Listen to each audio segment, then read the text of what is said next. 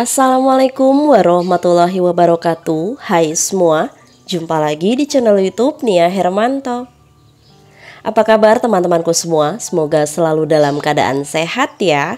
Dimurahkan rezekinya, dilancarkan segala jalan urusannya Dan tetap semangat Masya Allah, Alhamdulillah senangnya masih bisa sapa teman-teman semua dan share lagi kegiatan aku. Jangan bosan-bosan ya nontonin video aku. Videonya tuh kadang masak, kadang bersih-bersih rumah, kadang bebenah. Ya pokoknya apa aja yang aku videoin, selamat menyaksikan.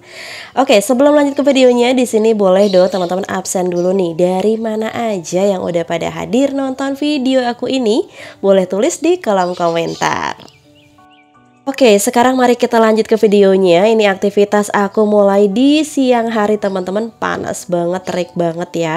Dan aku pas bikin video ini aku pakai kipas angin dua teman-teman. Satu di dekat meja TV, satunya di depan kamar. Pokoknya ya Allah panas banget ya. Pokoknya kemarau ini bener-bener di Cikarang 40 derajat. Di teman-teman berapa derajat nih suhu panasnya? Boleh tulis di kolom komentar ya. Oke, ini aku mau lipat-lipat baju dulu. Ini tuh cucian kemarin, tapi baru sempat aku lipatnya sekarang. Dan untuk hari ini tuh aktivitas aku nggak terlalu banyak. Kalau aku mau ada jadwal olahraga, biasanya aku aktivitas nggak terlalu banyak. Karena untuk olahraganya juga menurut aku hmm, lumayan menguras tenaga. Berhubung banyak banget DM di Instagram aku, teman-teman Instagram itu kepengen dibuatin video pas lagi aku olahraga. Jadi katanya biar bisa menyemangati kita-kita yang malas olahraga begitu ya katanya. Jadi ya udah untuk di video kali ini bakal aku selingin dengan uh, olahraga yang lagi aku jalanin sekarang. Nah, jadi biasanya kalau aku mau olahraga itu aktivitas di rumah aku tuh nggak banyak. Paling ya cuma nyapu, ngepel, terus masak gitu ya teman-teman. Nggak bikin jualan enggak, pesan uh, terima pesanan juga enggak dulu kalau aku mau lagi ada olahraga seperti itu. Oke, karena mungkin banyak teman-teman yang baru nemuin channel YouTube aku, banyak banget juga yang sering komen dan juga DM di Instagram aku selalu menanyakan Mania kenapa rumahnya selalu sepi suaminya jarang nongol di video dan juga kenapa nggak ada anak kecil yang sering lewat di rumah Oke mungkin teman-teman baru kenal aku dan baru nemuin channel youtube aku salam kenal ya. Uh, untuk saat ini aku sama suami masih berdua doakan saja semoga secepatnya di waktu yang tepat Allah menitipkan uh, anak di rumah tangga aku. Amin. Jadi aku belum ada ya teman-teman mohon doanya.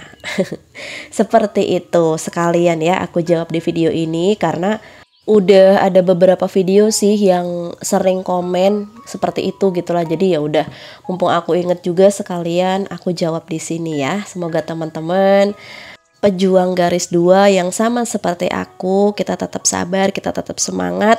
Insya Allah selama wanita punya rahim, selama Allah mengizinkan, insya Allah suatu saat kita pasti diberi keturunan. Amin. Untuk saat ini kalau misalnya kita belum dikasih ya udah kita nikmatin ya teman-teman ya sambil kita berdoa dan berikhtiar. Doa tanpa ikhtiar ya salah, ikhtiar tanpa doa ya apalagi sombong ya teman-teman. Oke ya itu lipat-lipat udah selesai dan kok jadi banyak mbak? Iya karena itu adalah lipetan baju kemarin ya ini udah satu minggu baju aku belum dijemput-jemput sama tukang laundry untuk disetrika karena lagi pulang kampung ada keluarganya yang meninggal dunia. Innalillahi wa inna rojiun ya teman-teman. Jadi ya udah mumpung sekarang uh, dia udah bikin postingan kalau udah bisa dijemput uh, laundryan gitu. Jadi ya udah tadi aku udah WhatsApp dulu ya teman-teman minta dijemput. Jadi biar nanti aku nggak ribet ngambil-ngambilin dari kamar belakang lagi sekalian aku taruh di ruang tamu aja. Jadi biar cepet gitu Lanjut, ini sekarang aku mau benahin dulu untuk kamar aku karena emang berantakan banget. Enggak sih, enggak terlalu ya teman-teman.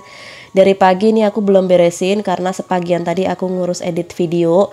Dan aku sambil rebahan di kamar, jadi ya udah sekarang baru mau aku rapihin dulu. Sebetulnya suami aku itu nggak pernah mempermasalahkan tentang uh, kerapian rumah ya teman-teman mau dia pulang kerja rumah belum disapu pel atau kasur masih berantakan atau apa pun itu dia tuh nggak pernah komplain apa-apa. Tapi ya nggak tahu kenapa gitu ya. Aku kadang suka nggak enak aja gitu kalau suami pulang rumah berantakan kasur belum dirapiin tempat tidur. Aku jadi kayak ngerasa nggak enak hati sendiri. Ada nggak sih yang sama kayak aku?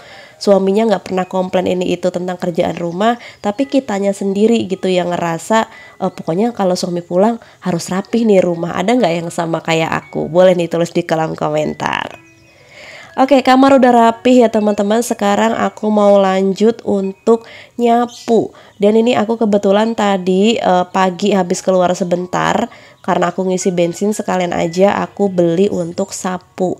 Ini aku beli sapu rumah ya teman-teman untuk di dalam. Karena yang punya aku di rumah itu udah lama udah mau lima tahun aku baru beli sapu lagi.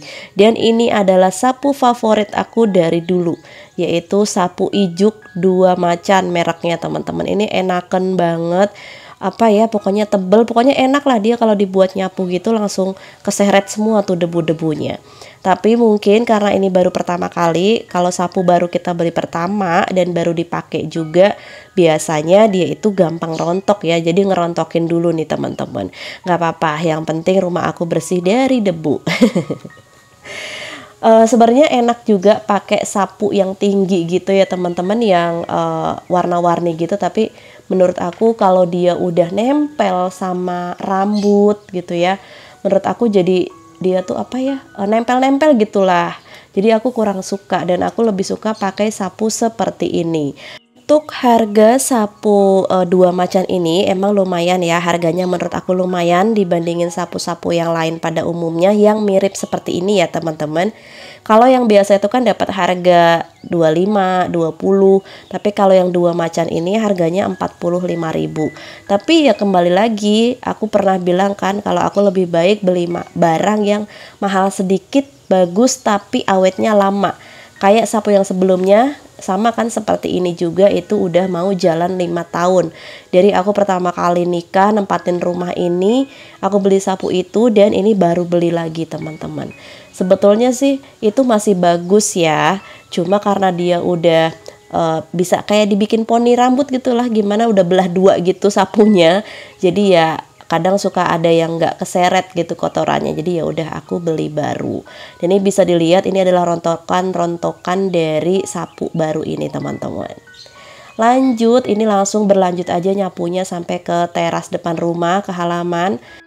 Karena kadang tuh aku kalau mau ngambil video uh, di teras gitu ya teman-teman agak susah. Karena apa? Karena kehalang mobil jadi benar-benar sempit. Aku bingung mau ngambil angle-nya kayak gimana jadi ya udah kita lanjut sampai ke halaman depan rumah aja. Nah ini adalah sapu yang aku maksud. Jadi sekarang itu sapunya aku buat nyapu jalan depan rumah teman-teman. Sebenarnya dia bersih sih ya. Bersih bisa narik kotorannya juga bersih. Tapi aku kurang suka karena dia itu e, kalau udah nempel rambut tuh jadi apa ya menyatu lah gitu istilahnya. Gimana sih ribet kali ya aku ya jelasinya kayak gitulah pokoknya teman-teman Oke lanjut, ini berhubung udah sore aku mau jemput suami aku karena suami aku badannya lagi nggak enak.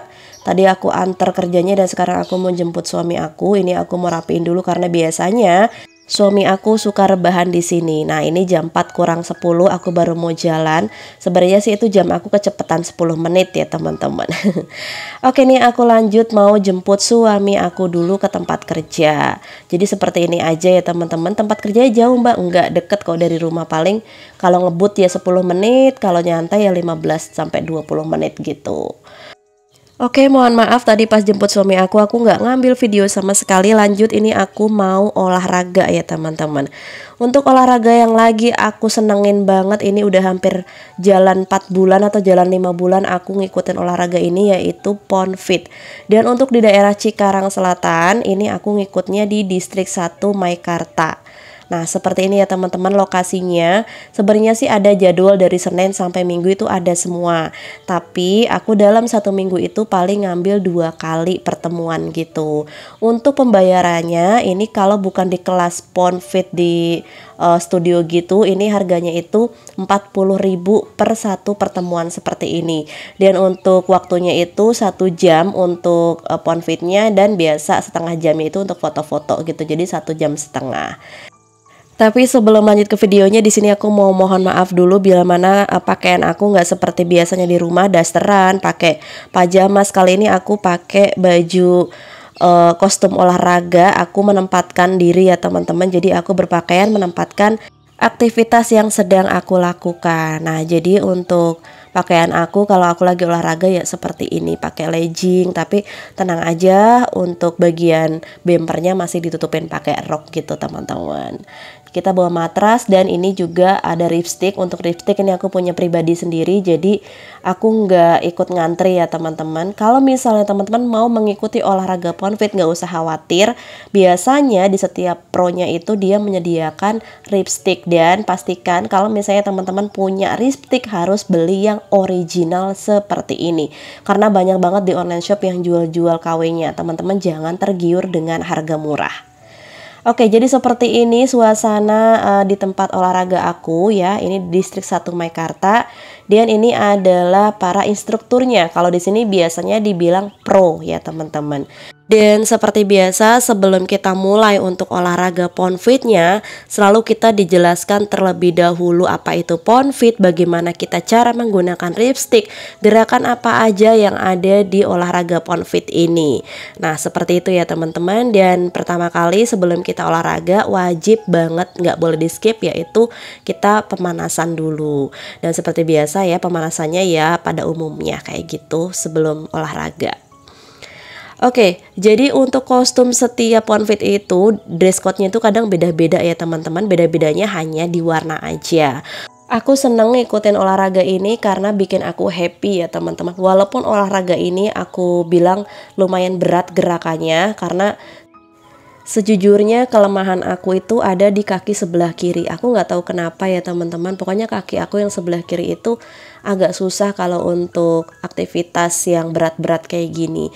Jadi ya aku olahraga semampu aku, sebisa aku dan tidak terlalu dipaksakan untuk kaki yang sebelah kiri.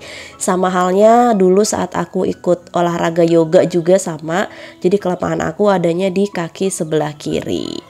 Nah sebelum aku menekuni olahraga ponfit ini dulu itu aku sempat ikutan yoga di studio gitu. Hampir 2 tahunan aku ikut ya teman-teman.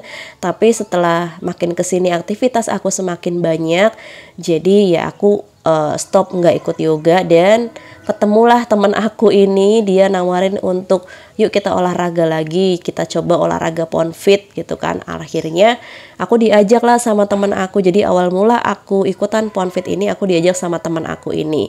Dia itu teman main aku teman curhat aku dan tetangga blog aku. Dan sama-sama pejuang garis dua. Doain ya semoga kita diberikan keturunan yang soleh solehah amin dan aku juga suka olahraga ini menurut aku bikin happy, bikin kita los ketawanya ya. Pokoknya kalau di olahraga ini tuh kita harus senyum, harus nyengir dan pokoknya harus say hey gitu teriak deh. Dan kalau aku rasa olahraga ini kalau kita nggak sambil teriak teriak itu tuh kayak kurang puas gitu ya. Kalau cuma mingkem aja itu kayak ada yang kurang gitu teman-teman. Oke ya, jadi seperti ini kegiatan olahraga aku. Barangkali di sini teman-teman yang nontonin aku, adakah yang sama seperti aku mengikuti olahraga pound fit? Boleh tulis di kolom komentar gimana. Di tempat teman-teman ini uh, untuk tiketnya war banget gak? Soalnya emang ini tiketnya suka rebut-rebutan ya teman-teman. Apalagi kalau pas lagi ada event, ini tuh beneran deh harus rebutan banget dapetin tiket ini. Oke, aku mau cerita sedikit ya teman-teman. Aku kan tadi udah bilang sebelum aku menekuni olahraga ponfit ini, sebelumnya aku ikut yoga ya. Ikut yoga di uh, tetangga perumahan aku di Villa Mutiara gitu di Sanggar Senam Hidayah. Dan apa ya, aku ngerasa kayak bertolak belakang gitu awalnya karena biasanya yoga itu kan kita uh, relax gitu ya, diem, pokoknya sepi, sunyi gitu ya teman-teman. Dan sekarang ketemulah olahraga yang bener-bener hea hee Yang bener teriak-teriak seru kayak gini. So aku happy banget teman-teman. Jadi aku ngerasa aktivitas aku yang seharian capek itu bisa terbayarkan di sini. Walaupun capek ya teman-teman Tapi ya happy aja gitu. Apalagi kalau kita beneran serius bener-bener uh, keluar semua tenaganya kayak gitu ya bener-bener power banget insya Allah dia juga bisa menurunkan berat badan pokoknya olahraga ini menurut aku cocok untuk aku dan Barangkali teman-teman ada yang belum tahu apa itu olahraga ponfit. Ini adalah olahraga yang menggunakan stick tapi ini bukan stick drum ya teman-teman. Jadi olahraga ini adalah kombinasi antara tiga olahraga yaitu kardio, yoga dan pilates. Jadi digabung di sini semua. Biasanya kalau untuk kita ponfit seperti ini uh, apa ya namanya? bahan-bahan kok bahan-bahan sih yang kita barang-barang yang kita butuhkan yaitu ya paling matras kayak gitu ya teman-teman sama bawa air minum aja Lipstick teman-teman gak usah khawatir. Kalau emang belum bisa beli teman-teman nanti pasti dipinjamkan oleh pronya sendiri. Kalau untuk kaos kaki aku saranin teman-teman pakai kaos kaki yang anti slip khusus untuk olahraga. Semisal teman-teman gak punya sepatu olahraga yang bener-bener anti slip bisa pakai sepatu bebas. Ataupun teman-teman bisa nyeker juga nggak pakai kaos kaki juga bisa. Karena emang bener-bener olahraga ini tumpuannya ada di tangan dan kaki. Karena dia pasti gerak terus terus. Oke, alhamdulillah ini udah selesai ya teman-teman untuk olahraganya. Jadi olahraganya kalau hari ini aku di malam ya. Jadi kadang aku satu minggu itu ngambil malam dan ngambil pagi. Kalau pagi itu ada di daerah Maikarta sana di tempat Central Park Maikartanya dekat kolam ikan gitu teman-teman. Nah buat teman-teman warga Cikarang barangkali gitu ya kepengen nyobain olahraga ini juga dia tuh banyak banget kok tersebar di mana-mana. Di Cikarang Selatan ada di Cikarang Utara juga ada. Kalau nggak salah di Cikarang Utara itu di perumahannya Teh Aisyah. Teman-teman bisa nyobain olahraga ini pokoknya seru banget Nah ini udah selesai olahraganya. Lanjut pasti ya setiap habis olahraga kita wajib banget cooling down atau pendinginan. Jadi kita merelaksasi otot-otot yang udah ketarik gitu Oke, jadi seperti inilah keseruan video aku hari ini. Semoga teman-teman gak bosen ya. Janganlah jangan bosen, biar kita bisa selalu sapa menyapa. Semoga bisa jadi tali silaturahmi yang langgeng ya, walaupun kita gak pernah kenal. Terima kasih banyak buat teman-teman yang udah nontonin videoku dari awal sampai akhir. Semoga video aku bermanfaat, menginspirasi, dan menghibur. Semoga teman-teman di sana tetap jaga kesehatan. Kalau nggak bisa olahraga di luar seperti ini, teman-teman bisa bisa olahraga di rumah. Tapi kalau aku pribadi, kalau aku malas olahraga di rumah berarti aku tandanya harus olahraga keluar. Oh ya, sebelum aku berpamitan di sini aku mau mohon maaf banget bila mana pas olahraga ini aku nggak nongolin suara uh, suara asli di olahraga ini sebenarnya ini asik banget suara ketukan lipsticknya apalagi kalau kompak gitu enak banget suaranya.